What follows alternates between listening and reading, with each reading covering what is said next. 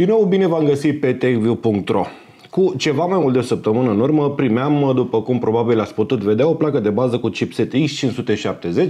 pe numele său X570 Aorus Pro din partea Gigabyte și cum procesorul încă nu ajunsese, am ajuns să facem, zic eu, un unboxing și o prezentare uh, video reușită pentru acest model de placă de bază situată, aș spune eu, cam în mijlocul ofertei curente de plăci de bază cu chipset X570 a Gigabyte. La două zile după publicarea unboxing-ului și prezentării pentru i570 Aorus Pro a sosit și procesorul, un Ryzen R9 3900X, obținut cu greu, trebuie să spun, pentru că încă în România sunt foarte rare, inclusiv la data filmării acestui clip, însă cu ajutorul unor oameni deosebiți cărora vreau să le mulțumesc pe această cale, am reușit să pun mâna mai repede pe un exemplar retail. Bineînțeles, ca orice entuziast, cum am ajuns acasă, am și aruncat repede sistemul la oaltă, fără să stau cum făceam de obicei, să aranjez cablurile, fără să pun LED-uri RGB prin carcasă și m-am apucat de instalat Windows, programele uzuale și câteva jocuri, precum și testele pe care urmează să le vedeți. Înainte însă de a da drumul suite de teste pe care le-am pregătit, trebuie să vă spun că materialul de astăzi nu se adresează în mod special pasionaților, deși și ei sunt bineveniți, sau overclock-urilor care scot și untul din platforma lor doar pentru că pot, deși din nou și ei sunt bineveniți, ci mai degrabă utilizatorilor să le zicem power user care vor să știe cum stă treaba cu noua platformă AMD și cu placa de bază din review-ul de astăzi. Aș putea spune că mai degrabă testele au fost realizate într-un mediu în care cred majoritatea dintre noi vom utiliza noua platformă într-o carcasă bine aerisită însă închisă, fără soluții speciale de răcire, fără overclock și cu un sistem de operare care la data rulării testelor avea câteva zile bune de utilizare, încărcat fiind cu suita Adobe, cu mai multe jocuri de mari dimensiuni, cu suita Gigabyte App Center, rulând în background, dar și cu alte procese din partea Uplay, Steam, Origin, Google Backup and Sync și încă altele câteva. Ă, asta se întâmplă pentru că, în opinia mea, ăsta este un scenariu real în care noile plăci de bază, procesoare și sisteme în general vor fi utilizate în majoritatea timpului de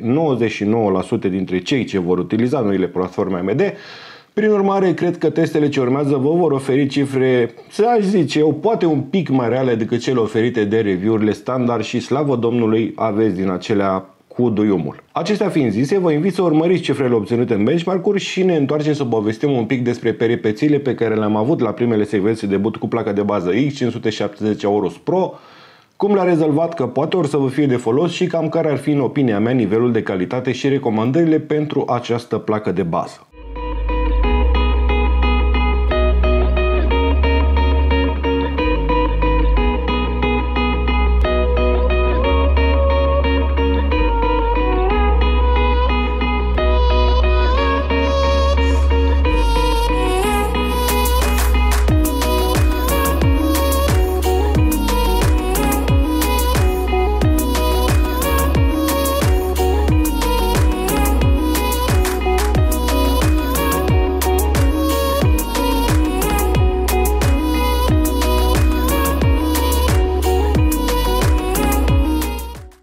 Spuneam că am să vă povestesc cum a stat treaba la primul boot cu această placă de bază. Trebuie să spun că, fără a fi un fan al AMD, am deținut în ultimii ani, încă de la prima ediție de procesoare Ryzen, în ordine un 1800X pentru foarte scurt timp, apoi un 1700 urmat de un salt destul de semnificativ la Threadripper 1950X, care din pricina căldurii degajate și a consumului mare de curent m-a făcut să trec la câteva luni pe un 2700X de care am scăpat cu 2, 3 sau 3 săptămâni în urmă pentru a trece la noua generație Ryzen și la R9 3900X. Prin urmare, pot spune că am trecut prin toate durerile facerii cu platformele AMD, atras fiind de numărul de neclee mult mai mari versus procesoarele Intel pe care le deținusem înainte, ceea ce mi-a permis mie unuia să lucrez mult mai repede cu mai multe programe simultan.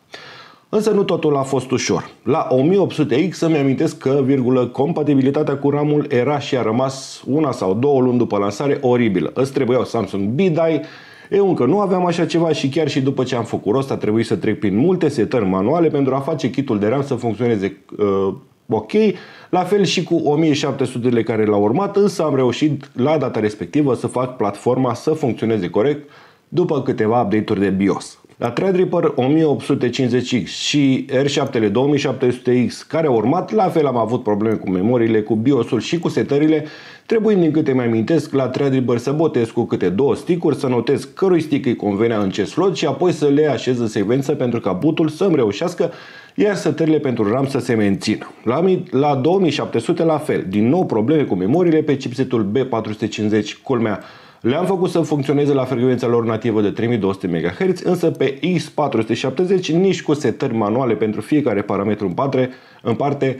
nu am trecut de 2800 MHz, așa că a trebuit să mă mulțumesc cu frecvența respectivă. Pe X570 Aorus Pro însă a fost altfel. Mă așteptam să mă lupt cu noul chipset cel puțin câteva zile și începutul trebuie să spun că nu a fost unul bun, dar să vedeți de ce. Uh, e un kit de memorii ciudat, Zadac 511, foarte rare pe, de 32 de GB la 3200 MHz și sunt destul de greu de înghițit pentru anumite sisteme, așa cum vă spuneam mai devreme. La primul boot, X570 Aorus Pro mi-a arătat utilizând LED-urile de semnalizare că la secvența de boot nu putea trece de RAM având montate toate cele patru sticuri de memorie. Am scos două dintre ele, am lăsat uh, două pe canalele de memorie A1 și B1 și am apăsat butonul de boot din nou pentru ca după câteva zeci de secunde PC-ul să pornească, având însă la turație maximă ventilatorul de pe chipset despre care vă spuneam în episodul trecut că o să vă spun dacă este sau nu gălăgios. Am setat profilul XMP al memoriilor, am dat reboot, PC-ul a, a pornit cu succes încă o dată, tot cu ventilatorul de chipset la maxim, așa că am oprit din nou PC-ul și am pus și restul de memorie în sloturile RAM și din nou boot. Nici de data acesta, nici gând să pornească. Din nou secvența de boot nu trecea de RAM, din nou culerul de pe chipset era la torație maximă, însă mai aveam un truc în mânecă că doar nu degeaba lucrez în industria asta din 2008. În momentul ăsta am redus de nou numărul de stick-uri la 2, am resetat BIOS-ul, am butat din nou, din nou setat profilul XMP și cu ajutorul unui stick USB am făcut update-ul BIOS-ului plăcii de bază X570 Aorus Pro de la primul F3 la ultimul BIOS oficial F4F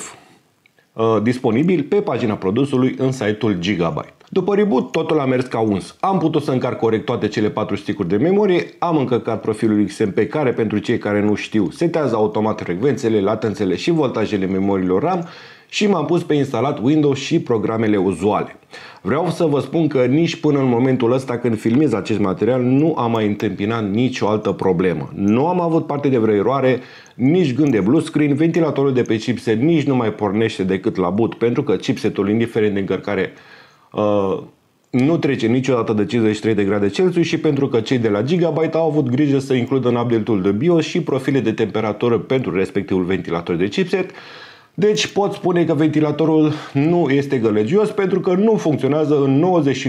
99% din tipul în care sistemul este pornit. De ce acest preambul lung și de ce atâtea explicații, iar dacă ați ajuns până aici, felicitări pentru răbdare. Pentru că după ce am avut ocazia să testez extensiv noua platformă AMD și în special noua placă de bază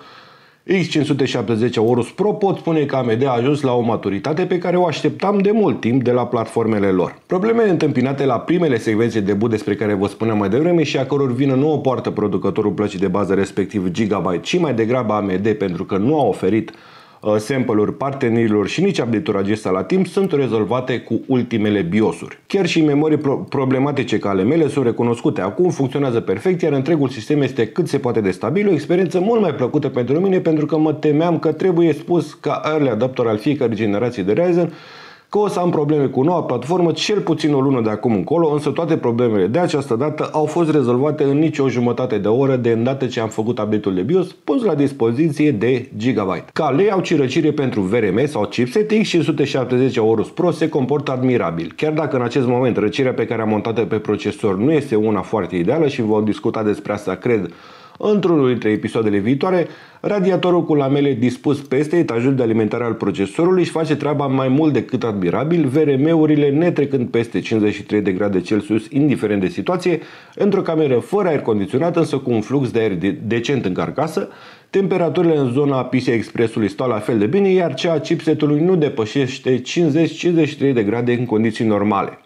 Prin urmare, ca să închei și să nu vă mai țin, deși cred că aș mai putea să mai povestesc destul de multe și poate o voi face în clipurile viitoare. X570 Aorus Pro reprezintă o platformă rece și stabilă pentru chiar și cel mai puternic procesor multicore din gama actuală Ryzen, respectiv 3900X, și îi oferă acestuia toate condițiile necesare pentru obținerea unor rezultate excepționale, având montată doar alimentarea de 8 pin pentru procesor, al doilea slot de 4 pin suplimentar, nefiind populat în testele mele pentru că nu a fost necesar. X570 Aorus Pro are un etaj de alimentare foarte bine pus la punct, capabil, foarte bine răcit, atât timp cât fluxul de aer din carcasă este decent, care fără îndoială va fi mai mult decât capabil să ofere voltaj suficient, stabil, cred eu chiar și pentru 3950X-ul care urmează să apară. Din punct de vedere estetic, X570 Aorus Pro are mai degrabă un ton neutru, compatibil și cu pisiuni mai serioase, dar și cu estetica de gaming, cum aș spune eu, având toate mufele necesare adăugării a metri întregi de LED-uri, răciri pe apă și câte și mai câte uh, ceea ce plănuiesc și eu pentru sistemul ăsta, însă într-un episod viitor.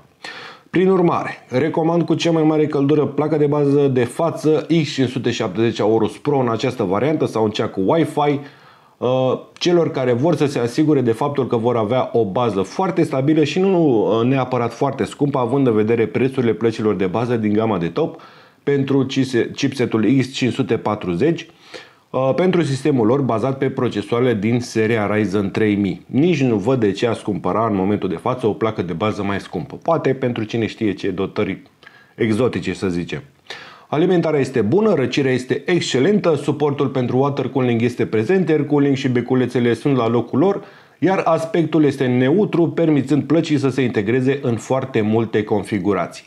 Primește din partea techview.ro premiul Platinum și recomandarea editorului. Până data viitoare, toate cele bune!